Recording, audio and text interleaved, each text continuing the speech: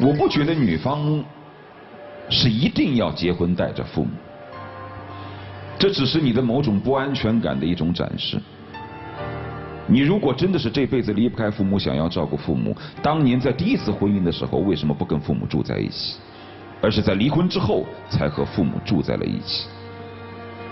坦率的来说，是在你第一次离婚之后，父母才收留了你。所以你口口声声说在再一次婚姻当中一定要带着父母出嫁，其实是你不安全感的体现。而对于男方来说，我认为追求自己的自由的婚姻生活也无可厚非。但是从某个条件下来说，你不能理解他在离了婚之后，就是女方在离了婚之后的这漫长的二十年，其实父母给了他所有家庭的感受，而是你是没有。你才认识他一年半两年，你就希望能够完全的占有对方，这是极这是极其自私的。在他漫长的五十一年当中，你给了他多少温暖？你没有，你只认识他一两年，但是你希望能够在自己六十岁以后的再一次婚姻当中，能够完完全全享受到所谓的二人世界，你觉得这可能吗？如果你们俩之间只是情投意合，不用结婚，谈谈恋爱就好。但如果你们要结婚，就必须要有志同道合。但很显然，你们志不同道不合。就像阿蒙老师所说。你们彼此的如意算盘，其实把它翻出来，其实有的时候和一些年轻人的自私想法一样可笑。你们要认出、认清楚一个现实：很多年轻人是彼此在一起三四年、四五年，而只是在之前的二十年彼此不相识，所以他们走在了一起；而你们是在彼此之前的五十年，彼此都是陌生人。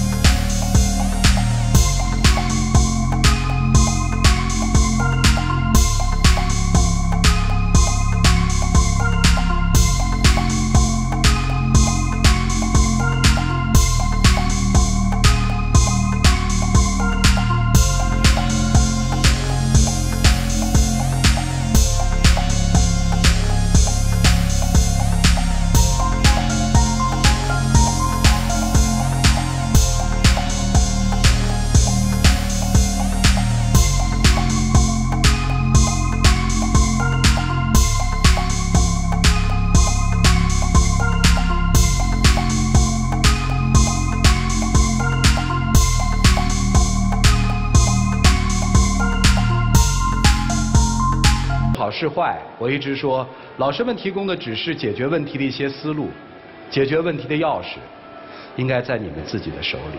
一起进入黄金六十秒。我想这个问题，咱们俩怎么个解决法？总得有个办法。比如说，把父亲房搬着和咱们一块住，这样式你照顾也方便，楼上楼下窜着走，我自己生活也有空间了。我觉得还是可行的。我这个我真心的话，我想和你俩过。我觉得牺牲一切我都值得。但是说，从这个我的个性上，漂浮二十年了，冷不丁这样这一下子接触现现实生活，我改不过来。那么这么的情况，咱以后不能解决吗？我想你看看，在这个时候你考虑考虑。行。行与不行？我觉得今天啊好，考虑考虑考虑。嗯。自己极致之下思考出了另外一种方式，或者叫他可接受的方式。租个门对门，或者再租一个楼上的房子，父母一套，他们一套，不在一个屋檐下，但是在物理位置上很近，方便女方去照顾，这是你想的，对对，行吧，你们自己去考虑吧。谢谢两位，请回，啊，回吧。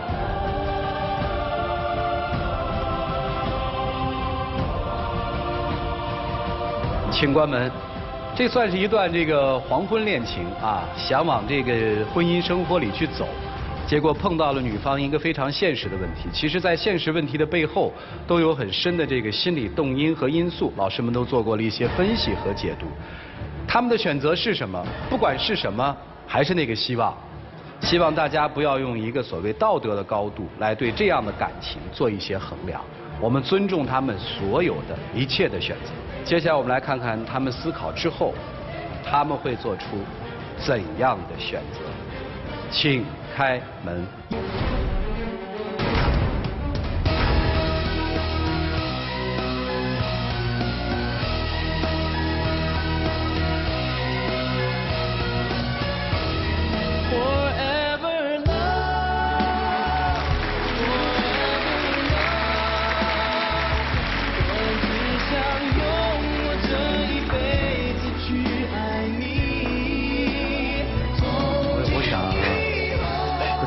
什么意思呀？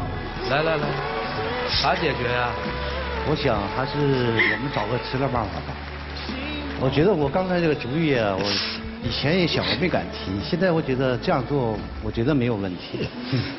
既能照顾父母，啊，又能够我们俩相处有空间，朋友来了、亲友来了都可以。我跟你说啊，我们尊重你们做出的选择，生活的路是你们自己去走的，回去之后还是要静下心来。考虑更多的客观因素，好吗？